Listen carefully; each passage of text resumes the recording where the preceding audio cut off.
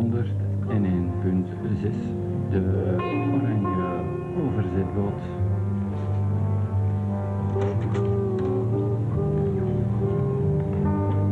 Met aan de controls de oranje Oerang Oetang. En met vandaag als gast Wim van Mulders, kunstcriticus. En hier zijn de weer. In the freeway. Het onderscheid tussen muziek als een totalitair kosmisch verschijnsel, waarbij dus natuurgeluiden horen, zoals in de bamboe-windorgels van de groep Mass Moving, en muziek als instrumentale technologische uitvinding en uitvoering is in feite irrelevant. Beide kunnen muziek zijn. Dit maakt het begrip muziek vanzelfsprekend erg ambigu. Wordt in het Westen muziek nogal eens bestempeld als de verzameling van alle technische, abstracte, sonore producten, dan ligt de betekenis van de muziek van George Smits meer in alle sonore uitingen en lichaamsplastiek die een ondeelbaar geheel vormen. Het is net zoals in een vroeg stadium der beschaving, waarin de mens reeds leerde hoe door strijken, klappen, stampen, schudden, schuren, krassen en blazen een klank te produceren. And great big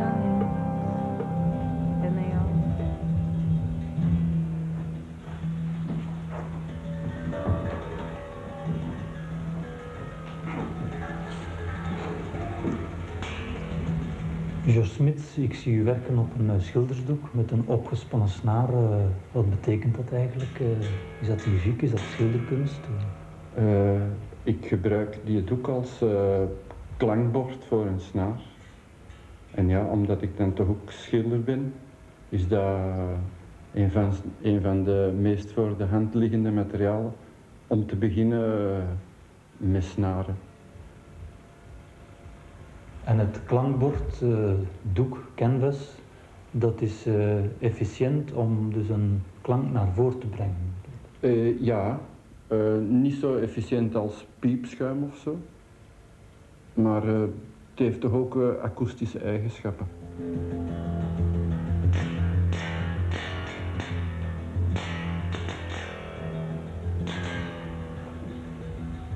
Ja, ik probeer de oorsprong van het werk te laten zien. Eh, ik werk met lucht. En in dit geval is dat nog louter visueel. Eh, de lucht is werkzaam hier tussen. Die dingen zijn niet met elkaar verbonden, maar die, die bewegen toch samen door de luchtwerking elke keer ertussen. Hier gaat dat heel traag. Dit is bijvoorbeeld een golf. Ik doe eh, één golf of twee golven per seconde. Men ziet wel de beweging, er is nog geen klank. Die klank die komt maar pas wanneer ik meer dan 50 keer per seconde tril met een plaat of met een ander voorwerp. Dan komen die, die windgolven, die bewegen de lucht in ons oor en worden die begrepen als klank. Ik kan misschien best vergelijken tussen een, de vleugelslag van een meeuw en de vleugelslag van een mug. Een meeuw die klapwiekt heel traag en eh, dat hoort je niet. Een mug die haar vleugels die gaan heel vlug, waarschijnlijk meer dan 50 keer per seconde. En dat geluid van die mug hoort je. Of een vlieg of een bromvlieg.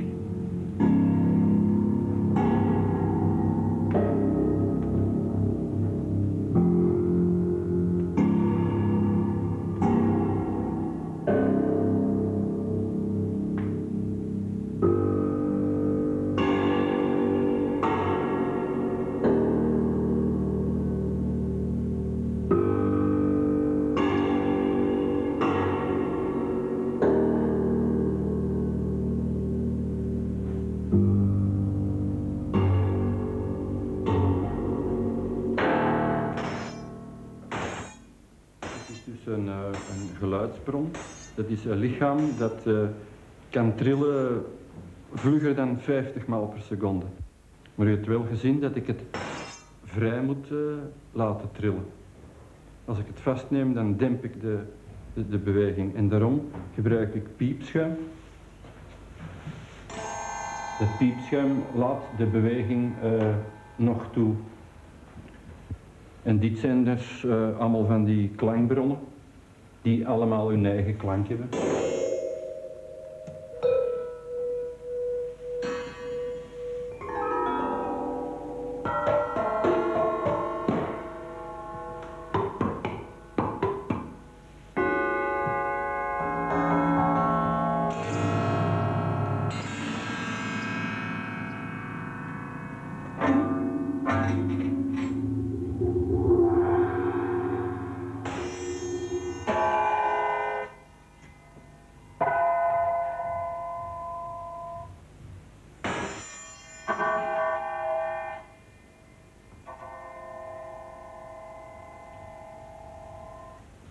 Gebruik hier nu dezelfde veer voor de verschillende klankvormen om te laten horen dat de klank verandert naar gelang het volume en de densiteit van de isomo.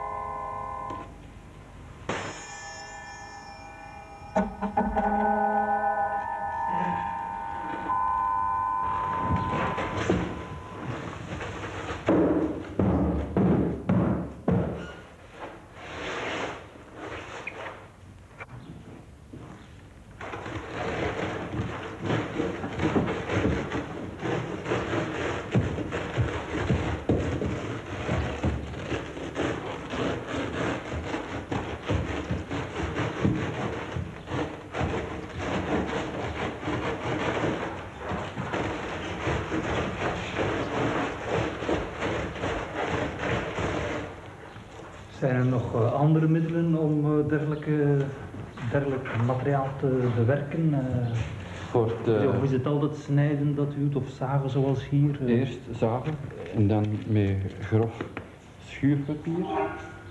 En ofwel met het mes, een puntig mes, om ook inkervingen en zo te maken.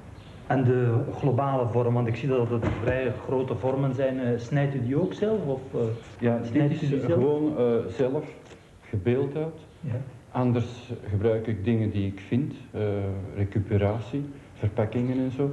En er zijn ook voorge, voorverwerkte vormen, zoals die bollen, die zijn zo geperst, die zijn zo klaar.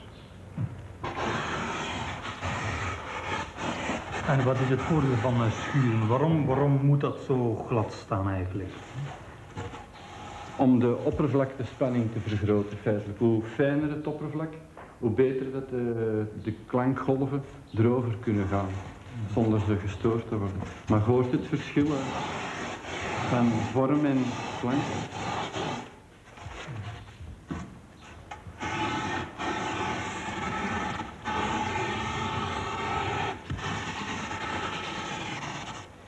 Deze.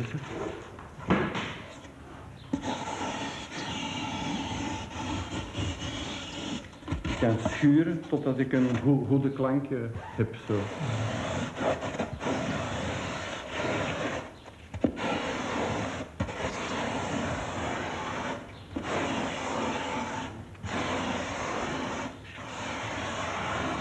Maar eh, kan je, kan je tijdens het schuren al horen of de klank goed zal zijn? Ja, ja die klinkt op zichzelf. Hè. Dat is een hoge toon. Dat is al iets lager. Dit is nog een dunnere. Dat is ook lager. Dat eh, noemt de, de idiof, idiofonie van iets. De klank van iets op zichzelf. Een steen die kan ook klinken uh, uit zichzelf. En dan met die balken, dat is ook ideofonie. Dat is het materiaal zelf dat de klank geeft.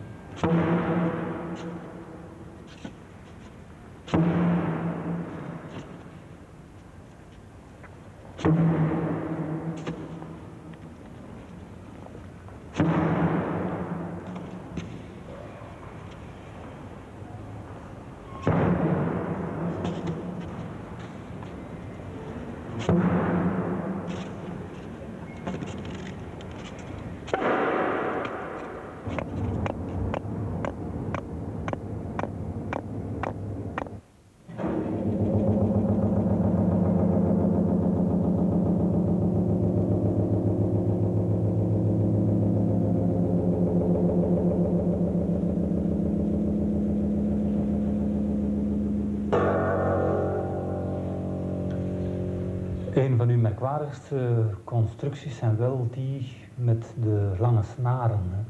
Hoe bent u er eigenlijk toe gekomen om dergelijke installaties, environmentale dingen te maken met dergelijke lange snaren?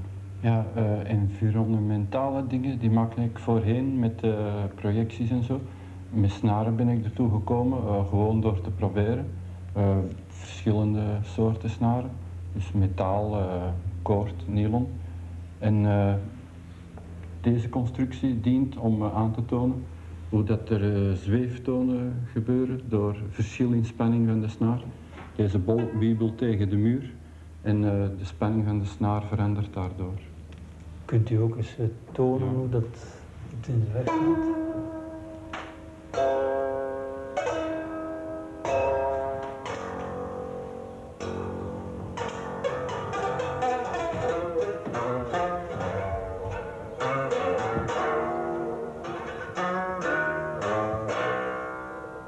Wat me opvalt in uw werk, dat zijn de verschillende verwantschappen die men kan leggen naar historische fenomenen, naar het uh, bruitisme van Russolo, de Italiaanse futurist, die dus ook zei dat uh, niet alleen tonen en boeiden, maar ook uh, geluiden, alle soorten van geluiden. ook de verwantschap met Man Ray, met Marcel Duchamp, die objecten gemaakt hebben uh, die ofwel bewogen, die geluiden maakten, uh, die in feite de eerste kinetische objecten uh, gecreëerd hebben. This is a ready-made dating back from 1916. It's a ball twine between two plaques of copper, brass. And when I, before I finished it, Arsberg put something between inside the ball of twine, the, the of twine, and never told me what it was, and I didn't want to know. It was a sort of secret, and it makes a noise, so uh, we call this a ready-made with a secret noise, and listen to it. I never know, I don't know, I will never know whether it's a diamond or a coin. En dan is er ook recent een vergelijking mogelijk met uh, Anderson, met de performance kunst. Hoe situeer je jezelf ten overstaan van die bewegingen het eerste voorbeeld dat ik zo heb gezien, dat was in de jaren 60, eh, de werken van de gebroeders Bachet. Dat waren voor mij klankobjecten.